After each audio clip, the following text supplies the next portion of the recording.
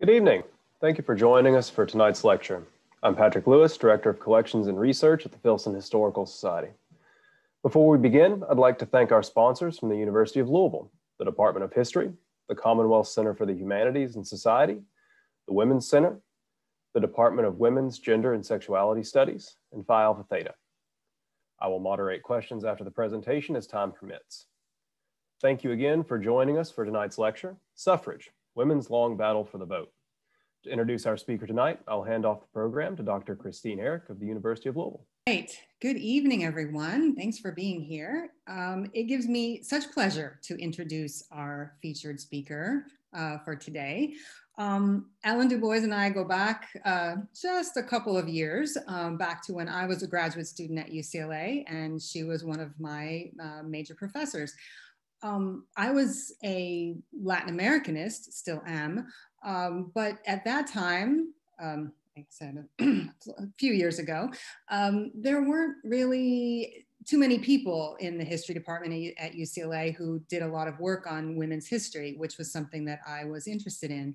So along with a number of other Latin Americanists, uh, we, we all sort of washed ashore, to so to speak, on, at Ellen's uh, office door, and she was generous enough to take us in and um, you know sort of guide us through what was then a, a you know a new and emerging field. Um, things have changed since then the field of women's and gender history uh, has has expanded and become much more mm, less marginal than it was back then. And Ellen is now a professor emeritus of history at UCLA. But even though she is officially retired, she has continued to be very active in publishing in the field. Most important, of course, is the book she will be talking to talking about with us today. Suffrage, Women's Long Battle for the Vote, which was published in 2020 by Simon & Schuster in honor of the centennial of the 19th Amendment and a definitive history of the long campaign for women's voting rights in the United States. Um, COVID, of course, really disrupted plans for a book tour for this book, uh, including a planned visit to Louisville, which was supposed to have been about a year ago. So we are happy to have her here virtually and look forward to having her back here in person at some point in the future. In addition to that, um, the, the book she's going to talk about uh, with us today uh, Ellen has a new edition forthcoming of um, her uh, of Through Women's Eyes: An American History with Documents. This new edition will be co-edited with Brenda Stevenson, another one of my uh, heroines uh, from UCLA. So I'm as excited about that collaboration. And Ellen is also working on a biography of U.S. feminist Elizabeth Cady Stanton. But you did not come here to listen to me. So I am going to um, once again thank you all for being here and, um, and uh, help me welcome Ellen DuBois.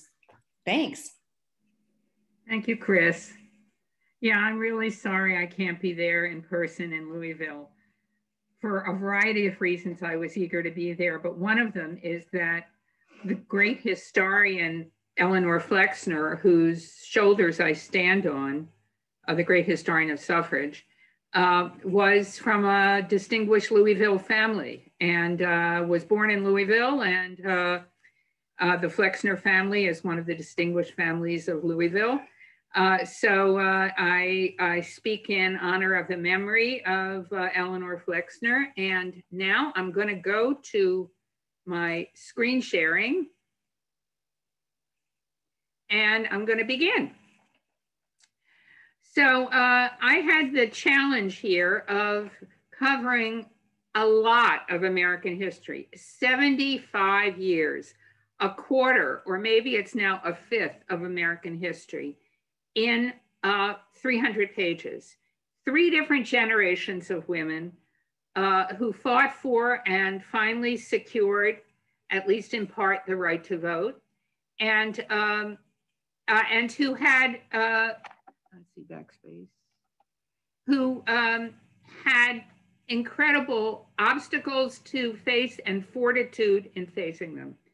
So uh, I've organized this lecture around what I call four surprises uh, about women's suffrage. And uh, I hope this will be interesting both to those of you who know nothing about the subject and to those of you who know a little bit about the subject. So let us start.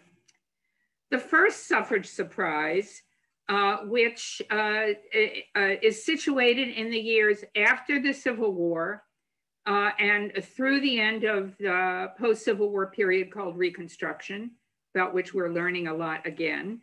Uh, I call the Woman Suffrage Constitutional Amendment that never was.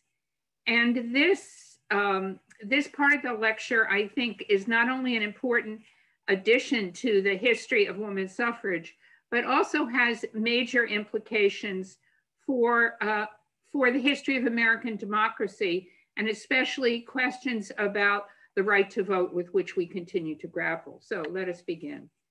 Um, the story begins in uh, the, uh, the years right before the 1872 presidential election, a really important presidential election, uh, in which hundreds of women all over the country uh, insisted that they had the right to vote and uh, attempted to cast their ballots in the ballot box. As this woman, uh, the famous uh, suffragist Victoria Woodhull, uh, was doing in New York City. The most famous of these women who were determined to cast their right to vote for in the 1872 uh, election for representatives and for the president was Susan B. Anthony. Now, this cartoon uh, is uh, captures a lot about her. It is not particularly flattering. She's shown as wearing uh, both. Um, she's shown as sort of dressing as both a man and a woman. Certainly as Uncle Sam, and then uh, as a uh, a woman. She's uh, she's sort of sour looking, not very attractive um, but um, on the election of 1872, November, uh, uh, November something, 1872, November 5th, um, Susan B. Anthony and several of her uh, female friends and relatives went to their local polling place in her hometown of Rochester and uh, brought their ballots to vote. And they expected to be turned down, and they weren't turned down because the uh, election polling officer who was in charge that day was a Republican. Uh, we're talking about a very different Republican Party here, um, who uh, learned very quickly that Susan B. Anthony was going to cast her vote for uh, Ulysses S. Grant, his candidate, and so he allowed her to do that. And she was thrilled. She went home, but um, uh, uh, before I say that, let me say a few words about the grounds on which she and all these other women uh, voted. Uh, she spoke to the, um, to the election polling officer and she said, I'm allowed to vote because of the 14th Amendment, which was ratified, the second of the three uh, Reconstruction Amendments that was ratified in July of 1868. And she surprised everyone by being allowed to vote. This was her argument. She used the 14th Amendment. Um, she quoted the first part of the 14th Amendment, which is one of the most uh, uh, important parts of the United States Constitution, after perhaps the Bill of Rights. It reads uh, All persons born or naturalized in the United States are subject to the jurisdiction thereof and are citizens of the United States. This was the first time that there had ever been a definition of uh, American citizenship um, uh, let's see, back, back, back, uh, in, uh, in the Constitution. And then it goes on to say that no state can interfere with the privileges and immunities of citizens of the United States or deprive citizens of the United States without due process of the law or equal protection of the laws. Uh, so Anthony and all the other uh, women that uh, tried to vote that that uh, year um, argued that um, it, it was clear that um, of the privileges and immunities of national citizenship, it was clear that the 19th that the right to vote was one such privilege and immunity. Uh, who could but uh, disagree with that? What was it? What it mean to be a citizen of the United States and not be able to vote? Two weeks after she happily voted, a, uh, a, a, U.S. Marshal came to her door and told her she was under arrest for the crime of criminal voting. She was tried in a highly controversial um, uh, um, case uh, in which the uh, judge, who was actually a, a, sitting member of the United States Supreme Court, refused to allow the jury to uh, come to a decision and told them that they must find her guilty because there were only two issues. Was she a woman and had she voted? And the fact that she believed she had the right to vote and had not intentionally voted in a criminal fashion was not allowed to be administered. Um, she had wanted desperately to appeal her case to the United States Supreme Court and was not allowed to do so. But Scott, the next one, please. Um, her, uh, it was, um, uh, no, you can skip to the next one. Uh, it was a woman named um, uh, Virginia Minor who had voted, attempted to vote in St. Louis, Missouri uh, and um, sort of right near you. And um, she brought her case to the Supreme Court. And in 1875, in a very famous case called Minor versus Happersett, Happersett was the name of the um, uh, polling officer who refused to allow her to vote. The court declared that she was right that the 14th Amendment made her a citizen of the United States under equal protection of the laws, but she was wrong and that the right to vote was not a right of citizenship. Um, this is a picture of the Supreme Court in those years, and you will see something pretty obvious about it. About it. Um, it, it, was all old, white, somewhat over um, overweight men. Um, okay, uh, but the suffragists were not done with their work. Next, uh, next slide. Next one. Yes. Um, two, three years later, Susan B. Anthony, who's seen here on the very edge of the left of the picture, her partner, Elizabeth Stanton, uh, came before the Judiciary Committee of the United States Senate with a proposal for a constitutional amendment, inasmuch as the Supreme Court had said their interpretation of the 14th Amendment would not hold. So she proposed a different amendment. Can you come to the next one, Scott? Um, and this is what I call the constitutional amendment that never was. The right of suffrage in the United States shall be based on citizenship. I'm going to repeat this. This is not the case even to this day. The right of suffrage is not based on national citizenship. I'll come back in a minute. And shall be regulated by Congress. And all citizens of the United States, whether native or naturalized, shall enjoy this right equally. And then without any distinction whatsoever founded on sex. Now, you can probably anticipate that if this were an amendment to the Constitution, which it is not, we would be in a much more secure situation when it came to the right of all citizens to vote. Instead, um, co the Congress was uh, unwilling to um, uh, to uh, uh, advance another constitutional amendment. They finished with the 15th Amendment, and it was another 40 years before they intended whether they whether they entertained another amendment and another 50 years before they entertained a women's suffrage amendment. Um, now let us compare to the next one, please. Uh, this is the amendment that um, was um, uh, that was uh, put forward a few years later and became the 19th Amendment.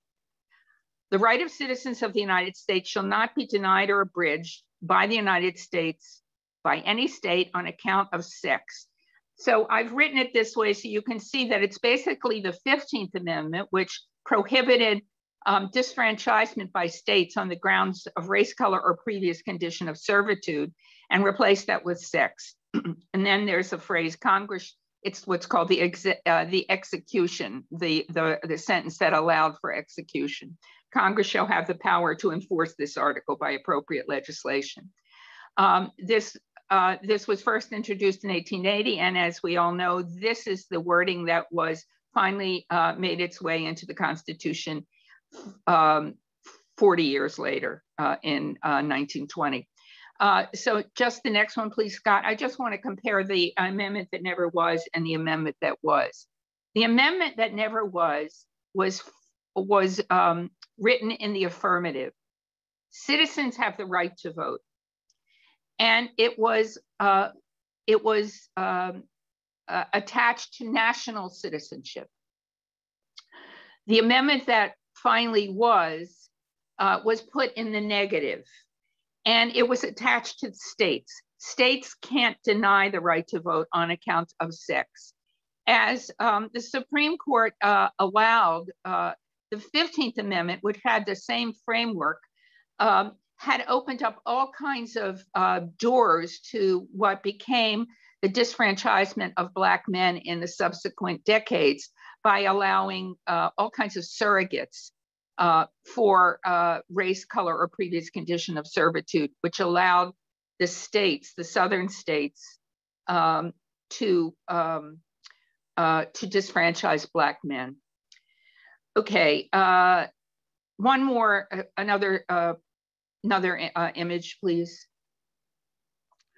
One more consequence of the um, of the amendment that never was being replaced by the amendment that was had to do with race.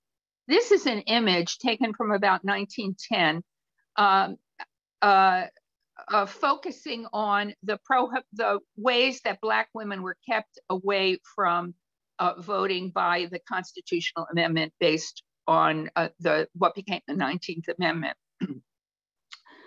um, once it gave up what I called earlier the universal suffrage approach to women's suffrage, the women's suffrage movement, the women's suffrage movement um, uh,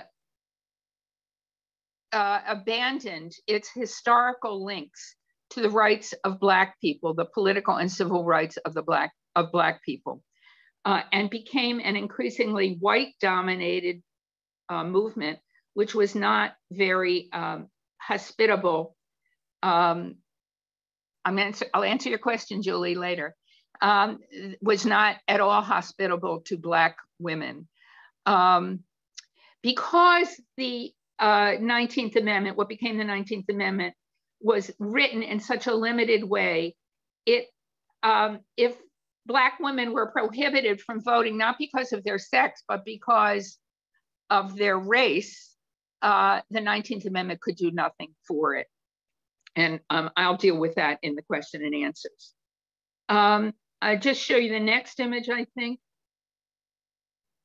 Just to show you that uh, these pictures of uh, various African-American women suffragists uh, involved in the women's rights movement from the 1850s on to show you that even in the decades towards the end of the 20, 19th uh, century, in which Black women were not welcomed into the uh, white dominated suffrage movement. They continued to fight for and work for the rights to vote from uh, their own uh, African American organizations. And we'll come back to this in a minute. Next.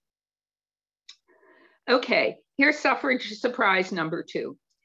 Um, with the ratification of the 15th Amendment, as Elizabeth Stanton put it, the constitutional door was slammed shut and remained so for another, uh, over another three decades, uh, almost four decades. In the late 19th century, the suffrage movement focused on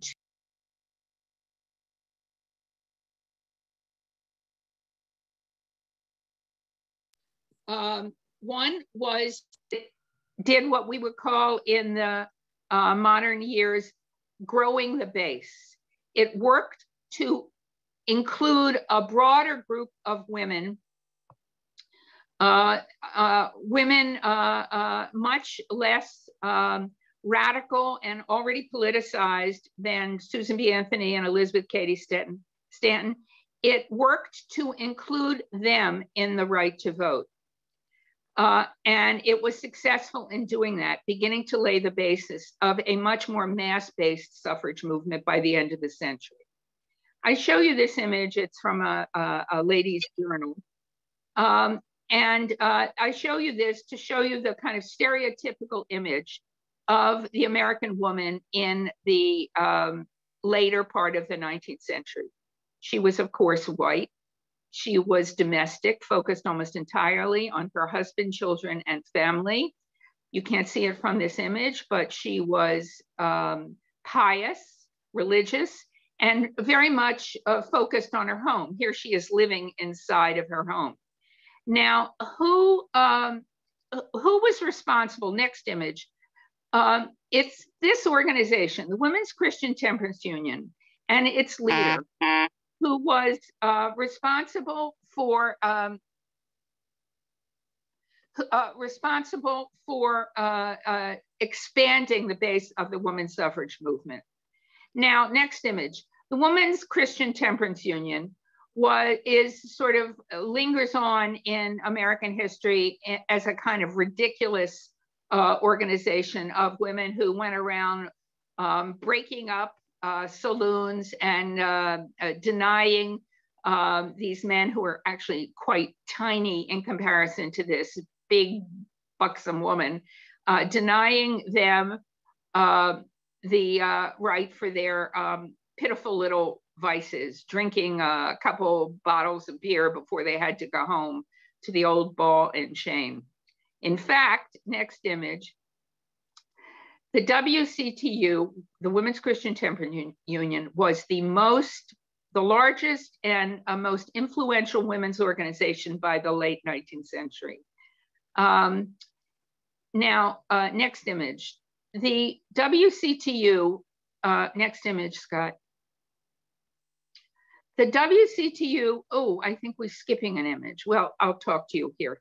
Um, the WCTU had begun its work by fighting against the abuse of alcohol. Uh, and um, the argument here was that um, men were the ones who uh, drank too much. They used up their entire wage packets, and then they came home and were violent to their women and children. So this made um, the issue of intemperance, uh, a kind of a feminist issue, but a limited one. Next image. Uh, the person who, uh, and I think we are skipping an image. The next one. Okay, go back about three images. I think I'm missing one. That's it. No, the, the one there with the woman. Next one. Here. The person, no, one before that. Yeah. The person who, um, who changed the WCTU was its second president, a woman named Frances Willard. This is her in the left and also on the right. Um, this is my favorite picture of her. It comes from a little uh, book she wrote called How I Learned to Ride the Bicycle. The bicycle was uh, the first way that American women had any freedom of movement. And Frances Willard recognized this. And uh, here, a, a small middle aged woman, a little bit um, timid about riding a two wheeler, nonetheless learned how to ride a bike and uh, uh, put this into a little magazine. And it says some a little uh, book, and it says something about her her implicit feminism. Next image. Now, how did she deal with suffrage? She dealt with suffrage uh, not in the way that Susan B. Anthony and Elizabeth Cady Stanton had dealt with suffrage, who uh, they had argued that uh, women that, that it was a matter of justice for women to have the same rights as men, uh, that women were equal to men, uh, that for instance women uh, didn't want to have to pay taxes without um, being able to vote, and all of those issues were either irrelevant or abstract to American women of the uh, sort of of the sort of conventional form that I'm talking about. Instead, Frances Willard argued that women needed the right to vote. Uh, they needed to be able to step outside of their um, domestic sphere in order to protect what was inside of it. She retitled the women's suffrage movement, and the term already had sort of a negative association, if you remember that image of Susan B. Anthony. She retitled women's suffrage as the home protection ballot women needed the right to vote to protect their homes. I think we'll go to the next image. This cartoon shows that, that here uh, uh, women are shown being um, fenced in by, um, by trivial pursuits, uh, gossip and fashion, and looking over the fence past woman's sphere to the larger world. The argument here was that women needed to vote not because they were the same as men, but because they had different concerns than men. They were they needed the right to vote precisely because they were different from men. Uh, next image.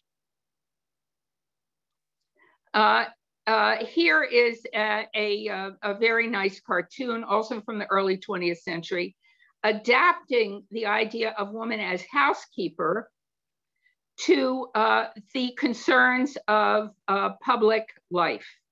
Um, here is a, a very uh, uh um, uh, attractive looking woman. We can see we're already in the 20th century because her skirt's a little short. But she is using, she's digging up the muck of politics, the dirty pool of politics, to deal with things like um, white slavery, which we would call trafficking in women. In women. Another issue, which I don't think is shown here, uh, is that, um, let me get over here. Uh, uh, yeah, food adulteration on the left. One of the big issues that brought women into, uh, into the suffrage movement is to try to do things to make milk safer uh, milk was adulterated. And um, so they wanted uh, uh, laws that would ensure that milk was uh, ensured to be clean. Um, next image. Um, uh, Frances Willard uh, died quite young in the late 1890s, but this new approach to women's suffrage, which was that um, women needed to vote for things that were of particular importance to them because of their domestic lives, their maternal roles, etc. Uh, this was adapted, was kept into the 20th century. So these are uh, images of um, two, um, two uh, issues that were important to 20th century women that led them into the suffrage movement. But now we're talking about a very different kind of woman. We're no longer talking about that woman who lives in a small town, um, sort of inside of her home with her husband and children, um, uh, a Protestant woman. Now we're talking about 20th century American women. They're much less likely to be native born, but now they're immigrants. They're much less likely to be Protestant. Now they're Catholics and Jews. They're much less likely to be wholly domestic. Now they, many of them work outside the home. So these two images are, which are from very famous um, uh, early 20th century, late 19th century, early 20th century um, American photographers show on the left the image that we might call uh, uh, uh the, the, the question of urban conditions for children. Um, so here we have children. This is New York City, as you can tell by the long avenue. Um, and they are playing on the street because they don't have any um, any playgrounds or any place to play. They're playing on the street next to a dead horse. Uh, so women needed their votes to change the conditions of urban life to make uh, that safe for their children. And then on the right, we see an image which we could all either call uh, an image of women workers or probably um, more um, likely um, an image of girls working, young girls, teenage girls. And the question of child labor was an immensely important uh, question to uh, American women and helped to bring them into the women's suffrage movement so that they could use their votes to change the laws um, uh, to make them prohibit child labor. Okay, next image. now we have uh, the third surprise. Women had the right to vote before the ratification. Many American women had the right to vote before the ratification of the 19th Amendment. Now, as I told you, um, the, um, uh, the constitutional door had slammed shut between the 15th and the 16th Amendments. But also, as I tried to tell you, uh, because of the failure of uh, the Woman Suffrage Amendment that never was, um, the Constitution continued to limit the right to vote to give it to the control of the states. and therefore, in these years, before uh, the revival of the uh, uh, amendment, the efforts to win a constitutional amendment, the suffrage movement began to focus on getting women the right to vote at the state level by am amending state constitutions. This picture shows you women voting in, in Wyoming, uh, which uh, became a state in 1890 and brought with it women as voters. So it became the first state uh, to allow women to vote. Next picture. The next picture is of the first state where uh, male voters uh, uh, had to uh, vote on whether to amend their state constitution and give women the right to vote. The year is 1893. Uh, the state is Colorado. And these women who are now voting, uh, and they are able to vote not just in state elections, but they're able to vote in federal elections. These women, as you can say, can see, are immensely proud to be able to be voters. They've got on the biggest hats that they can find, and they are walking with their hands on their hips uh, into their polling place. Now, um, the women of Colorado and then several other states after them, as I said, could vote for president. The women of Colorado voted for president in six elections before the 19th Amendment was passed. Uh, so I want you to skip, I think, the next one. Yes, skip that. And now we will come to my home state, California, which in 1911 became the sixth of these states to amend its constitution and give women full voting rights all the way up to President of the United States. I'm just going to say a few words about this uh, campaign in 1911 to get women the right to vote in um, California. This was the first, in many ways, it's 1911, the first modern campaign for women's suffrage. Next image. Um, now the suffrage movement uh, is run by different groups of women. It's staffed by different groups of women. It's staffed by women college graduates. Now, there are not a whole lot of college, college graduates in the United States, but a lot of them, probably more than half, or at least half, were women. And most of these had graduated from state universities. Uh, so that's the women on the left. And then the women on the right are a growing number of wage earning women. Wa women were something like one quarter of the labor force by uh, the early 20th century. Next image. Uh, the California movement uh, was also uh, racially diverse. On the left is a picture uh, of a woman named Maria de Lopez, who was Spanish speaking. Her family had come from Mexico to, to California, even before California had become a state. She's a very interesting woman she uh, ends up working at my university while it was still a teacher's college. Uh, and uh, she was highly educated. And she works to spread the right to vote to Spanish speaking voters in California. The woman in the middle, uh, Clara Chan Lee, uh, is, of course, as you can see, also an owner of an enormously large hat. And um, she uh, was Chinese American. Now, for a variety of reasons, there were very few naturalized Chinese citizens and no native, almost no native born Chinese American women. There were very few. Uh, and um, so uh, Clara Chan Lee is one of the few of those women, but she's being shown here. Uh, and this is an effort to encourage um, the relatively small but important sector of voting population of Chinese American men to support uh, the California suffrage amendment.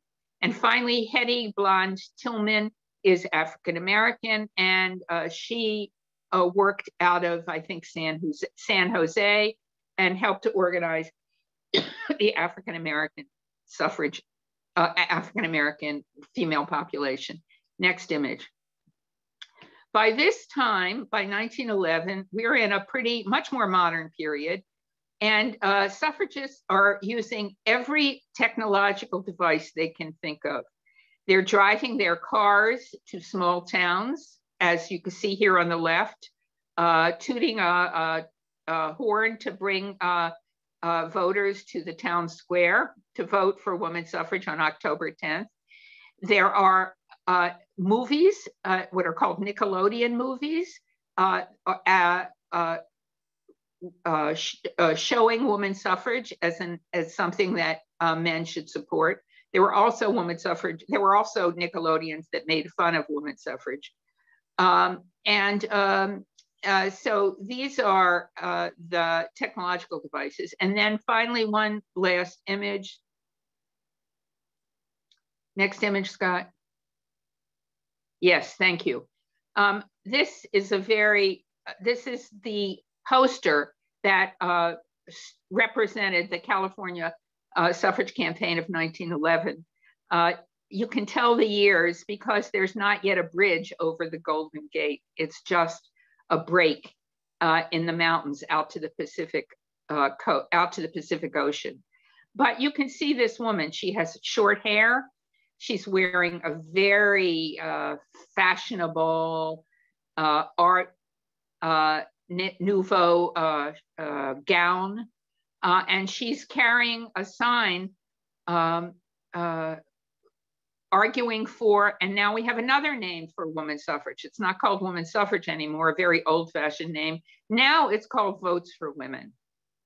Uh, and um, this was an effort of California suffragists to break out, if, if you can bring that old image of Susan B. Anthony back up, to break out that image of women's suffrage as old fashioned, asexual, it's all right, not necessary, asexual, uh, unattractive, and instead we have a pretty glamorous modern image of suffragists.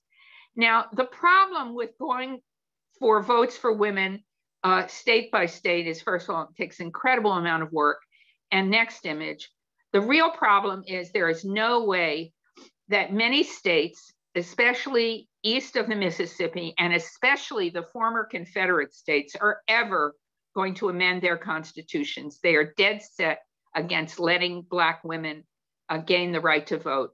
So, this is the second cartoon. I showed you one that was sort of criticizing white women for keeping Black women out of the suffrage movement.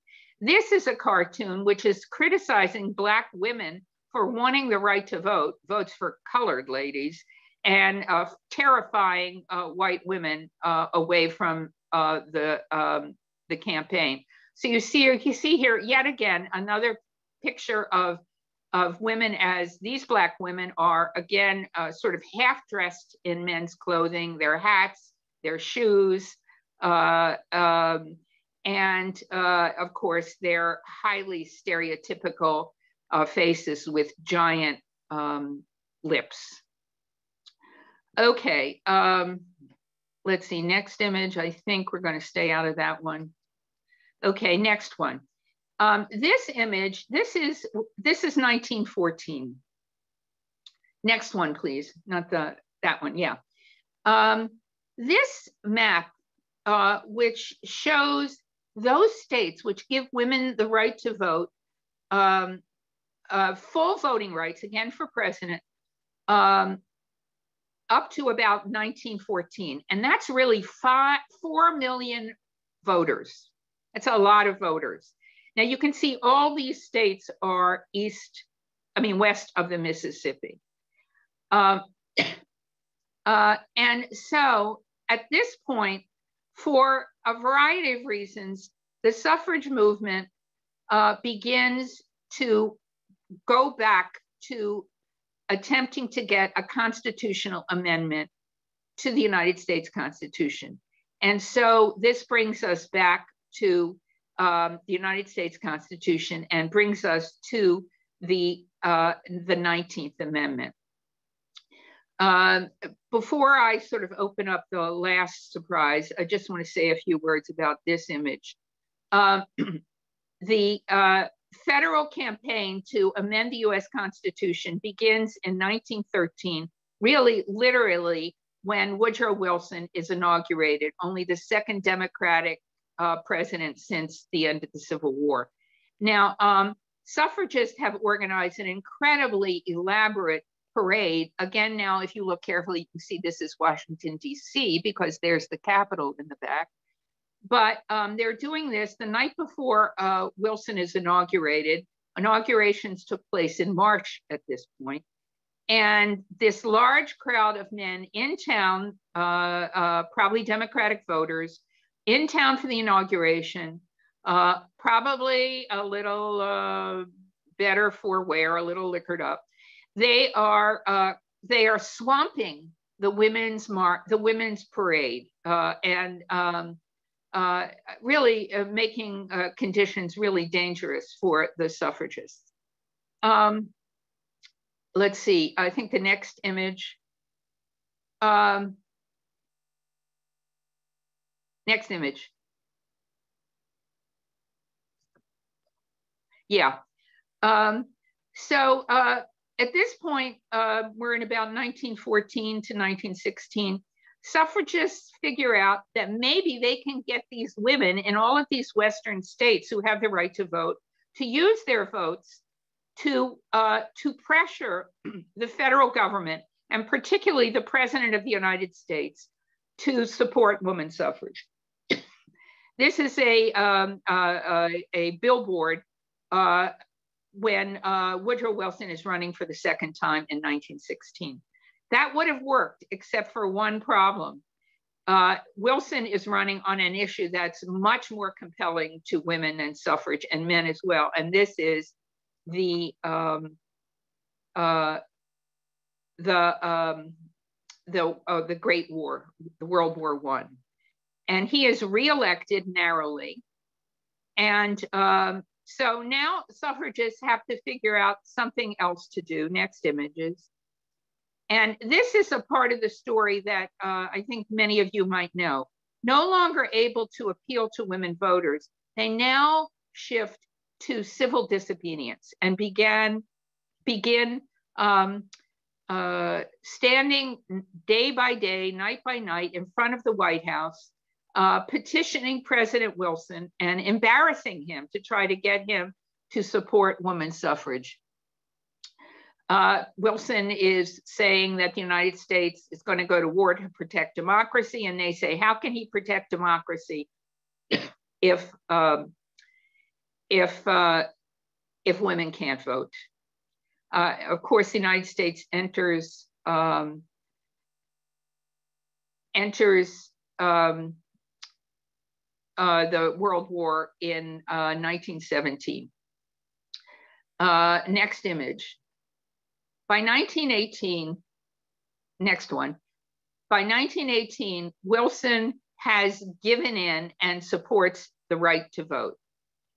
Uh, and um, now we move to the last of the surprises. I'm sorry I've been so slow, but we'll try to get this done.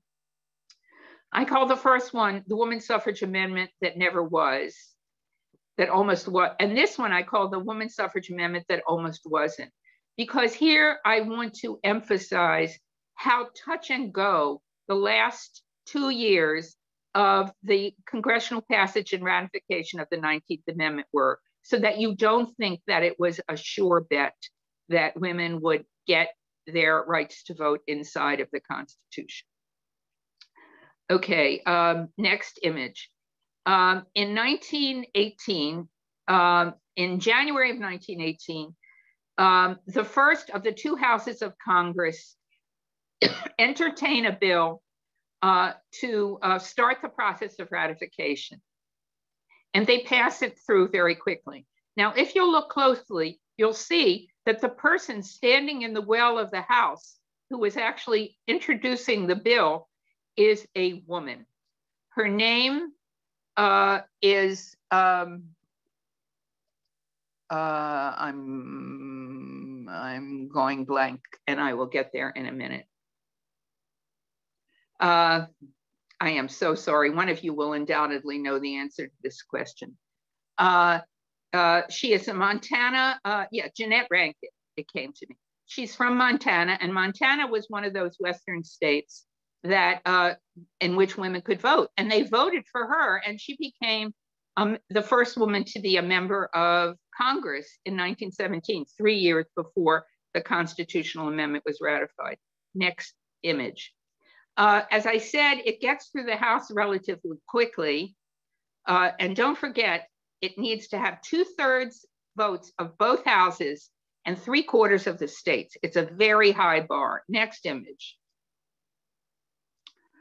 Um, but it turned out it was going to be much, much, much harder to get uh, the United States Senate to um, to vote to send the amendment out for ratification. And it took more than a year and a half.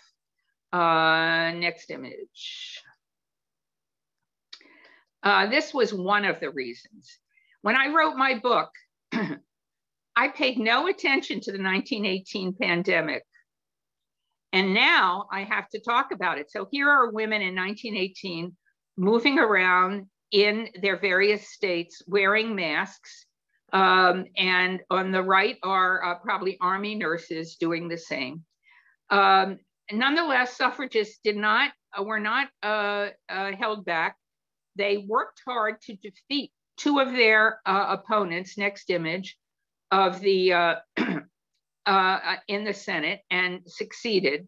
And finally, in I think about June of 19, let's see here, next image uh, uh, in June of uh, 1920. No, June of 1919. Um, they uh, th the bill goes through the Senate. Now let's look at the next image.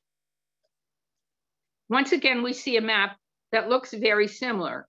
Here are uh, eventually the states that uh, ratified the 19th Amendment.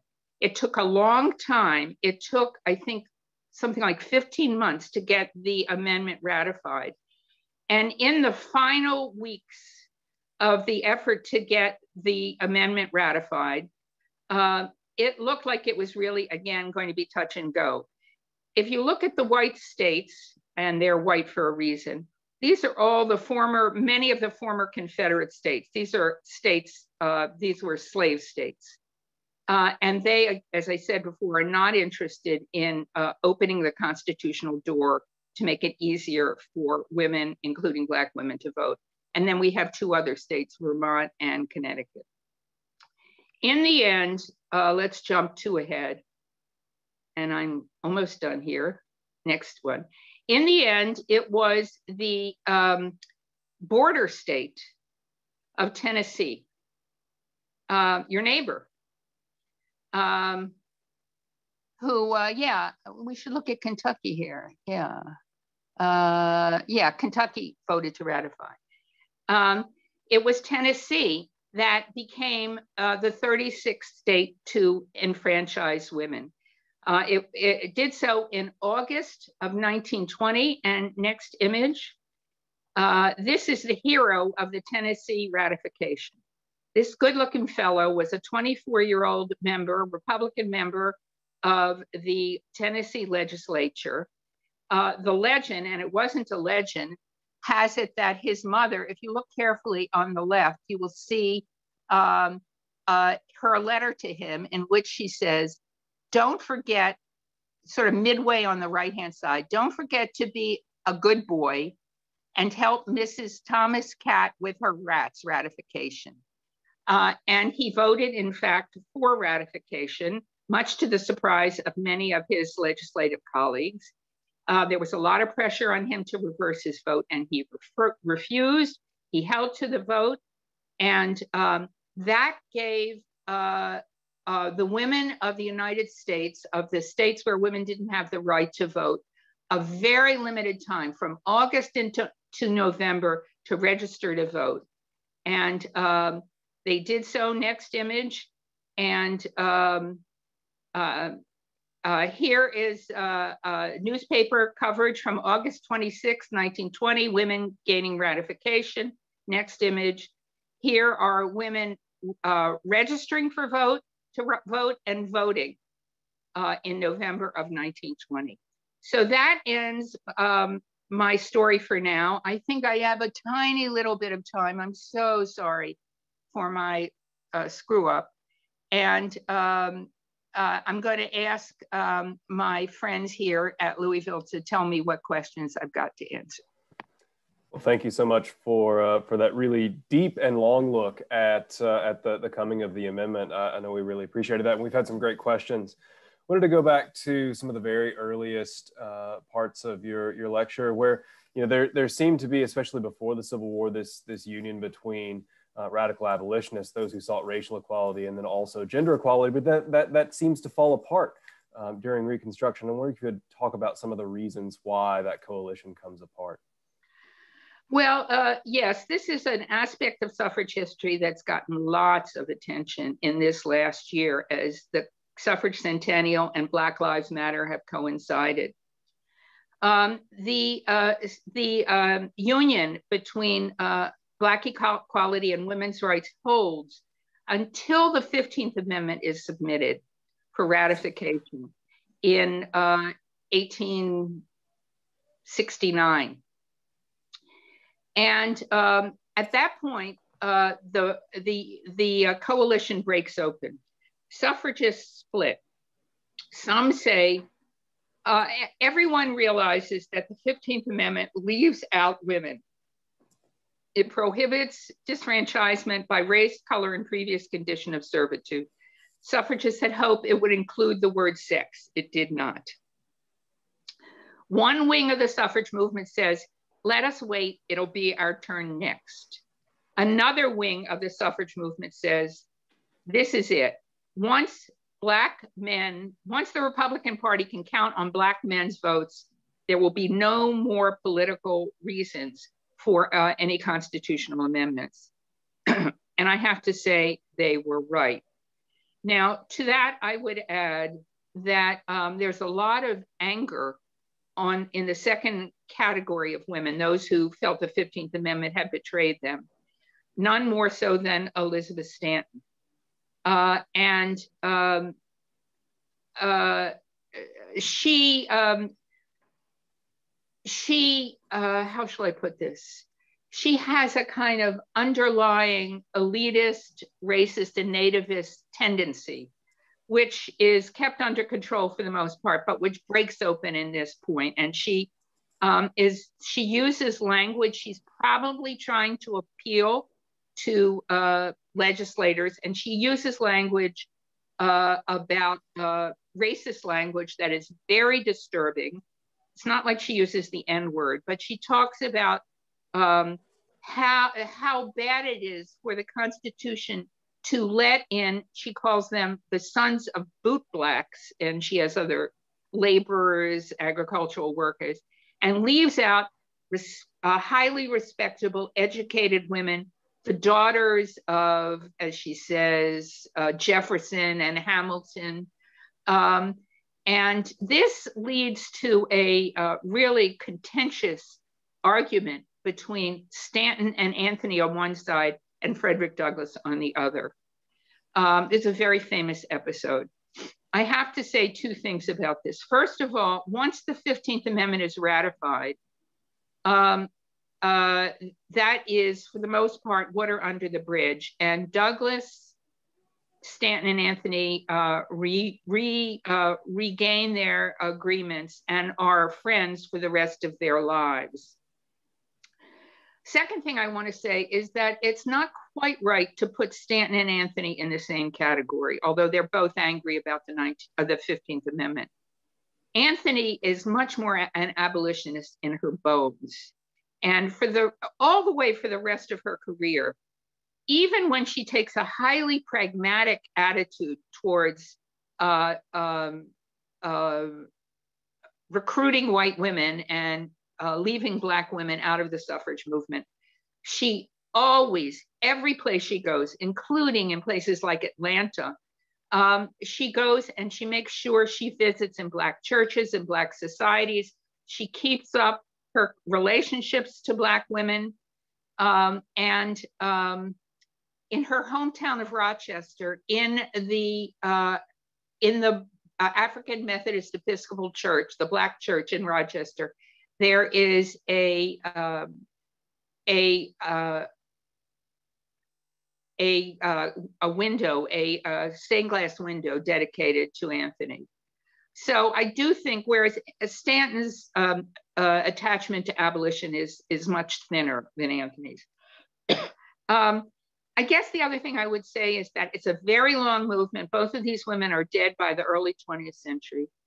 Uh, by then, the United States is in a period that we call the Jim Crow period. And there are other, there's other generations of women, none of whom come through the abolitionist movement, who have none of the, uh, let us say uh, gracefully, none of the ambivalence that Stanton has and are uh, just completely uninterested in Black women. And it's interesting that these women, I'm thinking particularly of both Carrie Chapman Catt and Alice Paul, are, are uh, uh, subjected to a lot less criticism than Stanton and Anthony for reasons that I'm going to have to solve when I write my biography.